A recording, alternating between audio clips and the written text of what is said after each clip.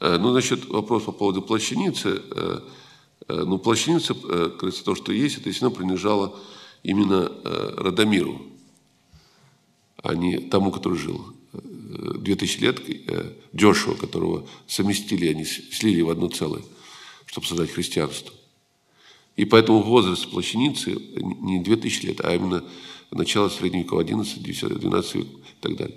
Но опять-таки, вот что меня все больше поражает, возраст определяют по э, радионуклеотидам. Ну, знаете, да? Но углерод 13 концентрация.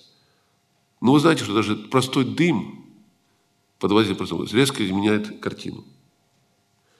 Вы знаете, что по если взять сейчас вот ракушку живого моллюска, сейчас живущего, вот вытащить из океана или моря любого моллюска с ракушкой, и исследовать его раковину, вы знаете, что кажется? Что ей много миллионов лет.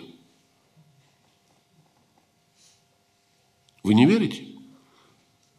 Это метод плюс-минус трамвайная остановка. Иногда между трамвайными остановками бывает миллионы лет.